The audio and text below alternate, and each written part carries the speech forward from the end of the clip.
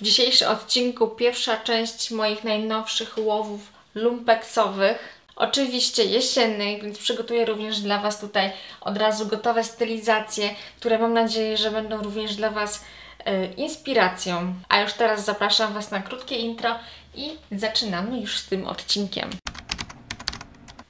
Przez ostatni miesiąc trochę mi się nazbierało tych nowych ubrań. Dlatego też muszę podzielić ten lumpeks na dwie części, ponieważ byłoby tego zbyt dużo na jeden odcinek, a z tego co wiem, to raczej preferujecie krótsze odcinki niż takie 20 plus minut. Jak widzicie, za mną jest e, właściwie prawie że sam kolor czarny, troszeczkę białego. Jest nawet deseń, jakaś panterka też się znajdzie i jeszcze jest jeden drugi deseń. I jak mm, mogliście już zauważyć po moich poprzednich odcinkach, właśnie to są głównie moje kolory. No właśnie, tak widać teraz, że to są właśnie moje kolory, czyli dużo czerni, biel yy, i właśnie z deseni to głównie panterka. Jeżeli ogólnie już ma być deseń, to właśnie panterka i w sumie prawie, że nic więcej. Po ostatnim odcinku obuwniczym bardzo spodobały Wam się moje stylizacje właśnie takie przejściowo-jesienne, taki romantyzm właśnie jesiennych stylizacji jeszcze właśnie z latem. Yy, więc mam nadzieję, że i dzisiaj te stylizacje, które Wam dzisiaj prze, yy, przedstawię, yy, również Wam się spodobają, ponieważ również one postaram się, żeby były jeszcze takie przejściowe, bo no, mamy wrzesień, więc no naprawdę jest dosyć ciepło jeszcze, całe szczęście. E, pomimo tego, że uwielbiam naprawdę jesień i jesień w modzie to jest coś, co ja uwielbiam. E, uwielbiam właśnie takie ciepłe rzeczy, takie naturalne tkaniny, kaszmir, wełna, e, płaszcze. Możemy trochę właśnie tutaj już zaszaleć z naszymi outfitami. Wszystkie te ubrania, które kupiłam, były kupione na wagę więc będę Wam mówić oczywiście ceny, natomiast one będą takie, wiecie, w przybliżeniu, ponieważ no nie ważyłam każdej z tych rzeczy osobno i nie pamiętam dokładnej ceny e, tych ubrań, więc będę właśnie mówiła Wam e, takie ceny mniej więcej, jaka była akurat w tamtym dniu tam za, e, za kilogram cena, więc wyliczę sobie to. No i mamy pierwszą rzecz, którą kupiłam całkiem niedawno. E, I w sumie od razu wybrałam się w tym lumpku na dział swetrów, ponieważ y, w sumie cały rok na nie patrzę, a w szczególności właśnie latem, bo latem jest mało ludzi, którzy chodzą na dział właśnie taki typowo swetrowy. Yy, no a teraz tym bardziej poszłam, no bo widzę, że mam trochę takich ubytków w swojej szafie, jeżeli chodzi właśnie o swetry, a tym bardziej właśnie z dobrymi składami. A Lumpex to właśnie jest idealne miejsce, w którym można znaleźć przepiękne składy. Tylko oczywiście trzeba szukać, trzeba czytać metki yy, i trzeba mieć troszkę więcej czasu oraz znać się na tych wszystkich materiałach. Sweter jest z firmy, naprawdę nie znam jej. Googlowałam ją i nie mogę znaleźć kompletnie, co to jest za firma, jakaś mm, Miramo? Miramo. Wydaje mi się, że to jest taki totalny jakiś vintage. Yy, nawet na Allegro, wiecie, czasami są jakieś wystawione starocie i też nie było, czy na Olixie. Nie mam nawet tutaj rozmiaru. Na moje oko jest to MK. E, I mamy tutaj Angorę 80%. Angora jest to rodzaj takiej wełny powiedzmy, która jest pozyskiwana z futra y, królików, więc brzmi brutalnie, ale no tak jest. Y, no i 20% akryl. Akryl no to pozyskujemy z ropy naftowej, nie jest to nic dobrego. Natomiast mamy go tutaj 20%. Głównie mamy tutaj Angorę, którą naprawdę czuć. On jest taki naprawdę milusi. Angora jest bardzo podobna, zobaczcie na przybliżeniu, jak ona wygląda. Ona jest bardzo właśnie podobna do moheru. No i właśnie ten sweter ma tutaj takie hafty piękne. E, o, widzicie, takie prześwity tutaj i również na rękach. Tutaj gdzieś niżej one są, nie. Tak, tutaj są dokładnie. Jeszcze na rękach też takie e, hafty, możecie je dostrzec. Myślę, że w kamerze będzie je gdzieś tutaj widać. Do tego ma właśnie taki piękny rękaw, taki troszkę mm, szerszy, ma obniżoną linię ramion i nawet jeśli on był vintage'owy, to zobaczcie, jaki super krój jest. Jeśli on ma ileś tam lat, nie wiadomo ile. Zobaczcie, ma również z tyłu y, taki guziczek, to bardzo ładnie wygląda na plecach, tak zapięte. No i to jest taka perełeczka. Kosztowała ona w tamtym dniu, była nowa dostawa, więc było niecałe 80 zł za kilogram. E, więc on mi gdzieś tak wyszedł jakieś 20 zł. No ale słuchajcie, 20 zł za taki piękny skład, taki ładny sweter.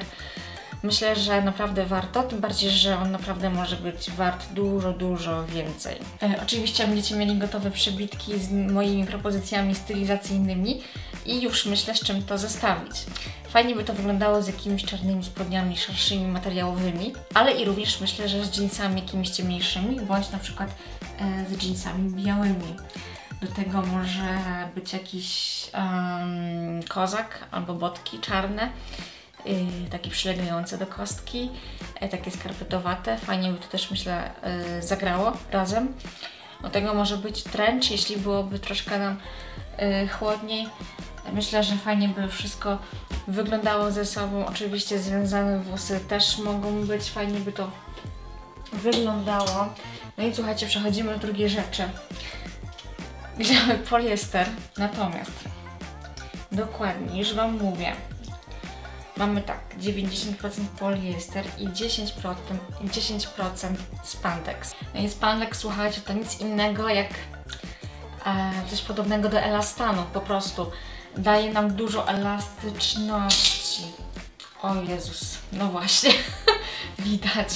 E, I powiem Wam, że jak ja dotknęłam tą spódnicę, to ja byłam przekonana wręcz, że tutaj żadnego poliestru nie ma bo ona jest niesamowicie y, miła w dotyku, bardzo miękka, mięsista, gruba nawet bym powiedziała. No i jest to taka spódnica, którą bym zdecydowanie y, zakładała przez cały rok, nie tylko właśnie na jesień, y, zimę do rajstop, do kozaków, do botków, czy do workerów też fajnie by wyglądało taki, wiecie, cięższych butów, albo nawet do mokasyn jeszcze teraz na takie przejściowe pory. Yy, zdecydowanie jest całoroczna, no i ten materiał naprawdę jest bardzo fajny.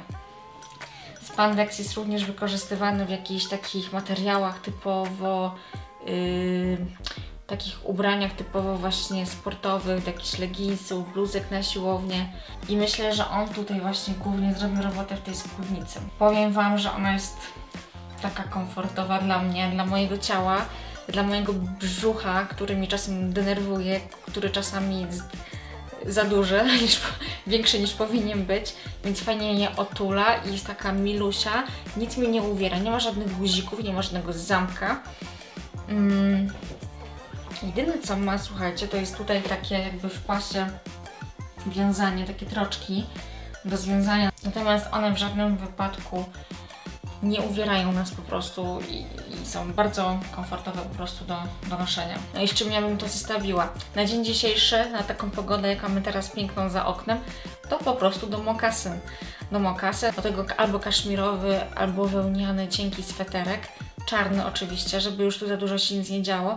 Wiecie, że właśnie tak jak już na początku Wam mówiłam, że z tymi deseniami u mnie to unikam raczej ich, ponieważ często właśnie te desenie nam się nudzą w, e, w naszej garderobie, a panterka jest taka, którą akceptuję i którą po prostu lubię. Lubię właśnie ją fajnie wystylizować, żeby też nie było zbyt wulgarnie, ani zbyt sexy, więc tutaj też mi się również to podoba, że ona po prostu nie sięga do połowy łydki, nie jest ona krótką miniową, tylko właśnie coś takiego bardziej, jak ja to już mówię, ze smakiem. A wiecie, później na przykład jak będzie już zima, będzie już naprawdę zimno, to ubierzemy sobie po to po prostu rajstopy, długie kozaki na szpilce na przykład, żeby yy, było, wiecie, z takim pazurem trochę. E, ale też nie za dużo. Do tego znowu jakiś czarny sweter, jakiś golf może, do tego płaszcz jakiś fajny, kaszmirowy, taki brązowy w coś tych kolorach i naprawdę mamy piękną stylizację i za grosze. A właśnie, a propos groszy, no to kosztowała ona około 10 zł.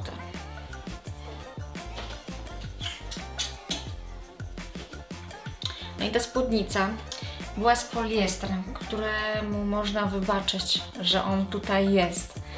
Następną rzecz, którą Wam pokażę, to jest poliester, któremu niestety, ale chyba nie do końca mogę wybaczyć i kiepsko się z tym czuję, że w ogóle to kupiłam. Natomiast sam fason tej bluzki bardzo mi się spodobał. Ona mi w ogóle przypomina takie bluzki z Massimo Dutti, które są chyba nadal jeszcze w kolekcji dostępne do kupienia. E, no jest piękna, zobaczcie, ma taką lamówkę czarną, ona jest tutaj biała cała. E, fajny ma tył, ona właściwie jest taka jeszcze letnia bym powiedziała, ma taki vibe jeszcze właśnie ten letni, natomiast jeżeli byśmy na to założyli cardigan albo najlepiej marynarkę czarną, no to już się nadaje po prostu na jesień i zimę. No i na pierwsze oko, na pierwszy rzut jest przepiękna, natomiast jak ja ją dotykam, no to czuć, że jest to poliester. Kochani, to jest 100% poliestru. Jaka to firma, już Wam mówię. Roman. Nie mam, nie mam pojęcia, co to jest ten Roman. Rozmiar 20, więc ona jest tak naprawdę potężna. Yy, jest ona na mnie za duża. Zobaczcie, tutaj i tak dalej, nie? Wszystko można... No, no po prostu jest dla mnie za duża. E, natomiast mi to kompletnie nie przeszkadza, bo lubię za duże rzeczy, nie lubię e, takich akuratnych i za ciasnych. Rzadko kiedy takie wybieram, chyba że to są takie basiki, ale już jeżeli chodzi o takie rzeczy, no to zdecydowanie wolę większe. No i zastanawiam się nad tą bluzką, bluzką, czy w ogóle ją zostawić, czy, czy też nie, czy ją wystawić na Vinted, czy komuś ją oddać bo no z jednej strony mi się podoba, a z drugiej strony ten poliester mi tutaj bardzo przeszkadza, bo go czuć po prostu, czuć, że to jest sztuczność. I tak jak właśnie Wam mówiłam, naj, najchętniej bym to ubrała do jakichś woskowanych spodni, do tego marynarka czarna, do tego jakieś botki albo workery, albo może na elegancko do szpilek, na jakieś wyjście fajne do teatru. Mm, jeszcze do przemyślenia, nie wiem, akurat z czym to zestawić jeszcze tak dokładnie, ale myślę, że z mokasynami też by fajnie by to wyglądało. Yy, przechodzimy do następnej rzeczy. I następną właśnie rzeczą są to takie, mam trzy t-shirty yy, czarne, podstawowe. Pierwsza z nich jest to polo. Ona mm, minimalnie jest tam, jak widzicie, już gdzieś tam taka pozdzierana wypłowiana, o, wypłowiała, wypłowiała, tak dokładnie się mówi, wypłowiała.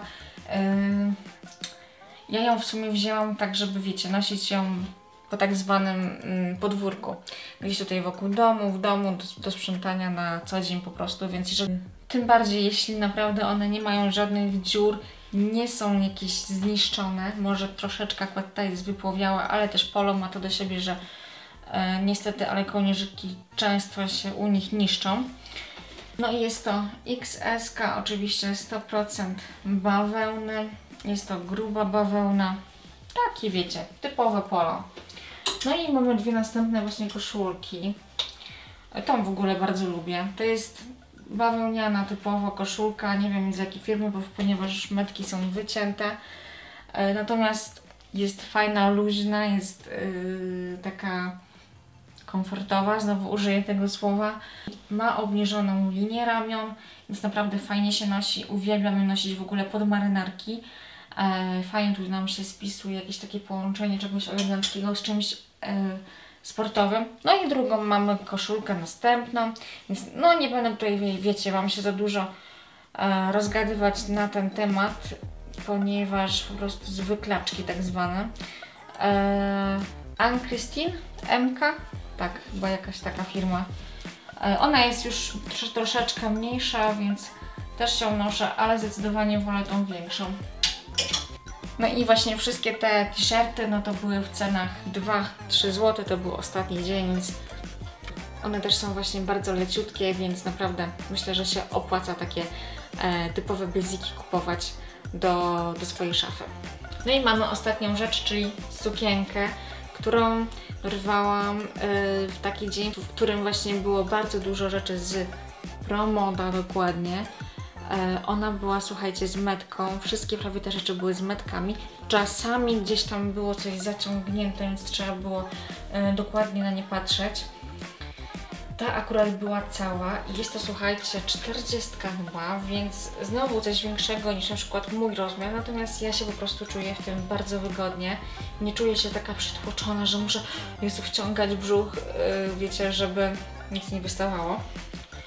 I tutaj też skład nie jest idealny, z tego co pamiętam.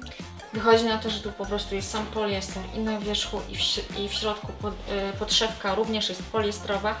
Natomiast e, w przypadku właśnie takich powiedzmy satyn, no to mi to nie przeszkadza, tym bardziej, że mamy tu jeszcze też podszewkę, więc jeżeli to ma być taka też sukienka, wiecie, na jesień, zimę, to tak przymknę oko. Jeszcze nie jest źle. E, zastanawiałam też się nad nią, ponieważ zauważcie, że ten deseń to nie jest panterka, tylko jakieś tygrysy więc nie byłam pewna, czy ją będę nosić. Natomiast myślę, że tak, będę ją nosić i myślę, że fajnie będzie właśnie wyglądać do jakichś takich wysokich kozaków, które teraz e, zawojowały na ten sezon jesienno-zimowy. Myślę, że fajnie by to wyglądało. E, ten dekolt, zobaczcie, że też jest bardzo ładnie odszyty i on ma tutaj e, takie kółeczko, które też fajnie robi robotę. Piękne ma rękawy takie rozłożyste na samym końcu. Ja w ogóle uwielbiam bluzki, sukienki e, właśnie z długimi rękawami, ponieważ nie lubię pokazywać swoich rąk, więc taki sezon właśnie nadchodzący jest dla mnie idealny, bo nie trzeba pokazywać rąk za dużo. Jak wiecie, nie lubię tego. E, sięga mi ona gdzieś tak za kolano, więc również jest taka, że nie jest też jakaś tam zbyt wyzywająca. Co ja mogę o nich więcej powiedzieć? Myślę, że już nic po prostu. To już będzie koniec tego odcinka. Na następny odcinek oczywiście zapraszam Was już za tydzień. Mam nadzieję, że te stylizacje, które Wam pokazałam oraz te wszystkie ubrania, które Wam pokazałam, bardzo Wam się spodobały. Yy, a już właśnie za tydzień mamy następny odcinek i myślę, że będą w nich same piękne rzeczy. Dwie rzeczy już mam u krawcowej. Yy, przygotuję dla Was naprawdę coś wspaniałego. Będzie to coś bardzo modowego. Pamiętajcie oczywiście o kciuku w górę, który będzie mnie bardzo motywować do dalszego nagrywania dla Was. Dajcie znać, czy już zrobiliście swoje zakupy w second handach na nadchodzący sezon, czy jeszcze nie, czy może nic nie potrzebujecie, ewentualnie z czym Wy byście połączyli właśnie te ubrania. Wpadajcie oczywiście na mój Instagram, dawajcie mi suba, no i do zobaczenia. Pa, miłego dnia!